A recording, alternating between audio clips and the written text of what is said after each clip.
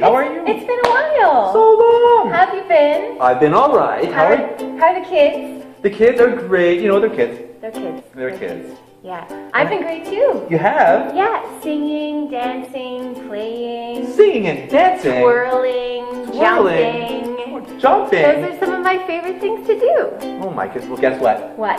You know I'm putting together a show. What kind of show? Well, it involves singing, dancing, Yeah. some Twirling. Jumping. It's gonna be a lot of fun. Fun. Yeah. Who likes fun? Mm, some people like fun. You like fun? Do you like fun? I like fun. You do. So where can Mhm. we have that kind of fun? Well, it's going to be at the Montreal Improv Theater at 3697 Boulevard Saint Laurent. And uh, it's going to be May 23rd at 4 p.m. 4 p.m. Who can come? Um, I don't know. Can my best friend come? Yes.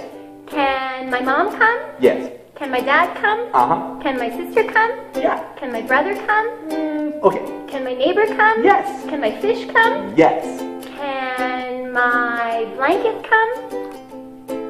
Okay, fine. The blanket Okay, can come. I love my blanket. Yeah. So, and I hope you can come, and you, and you, and you, and you, and you, and you, and you, and you, and you can come.